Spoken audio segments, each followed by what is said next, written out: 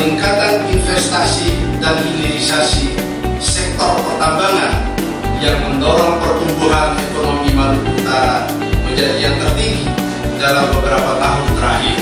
Data per September jumlah permohonan KI komunal sebanyak 423 dari 10 kabupaten kota yang ada di Maluku Utara.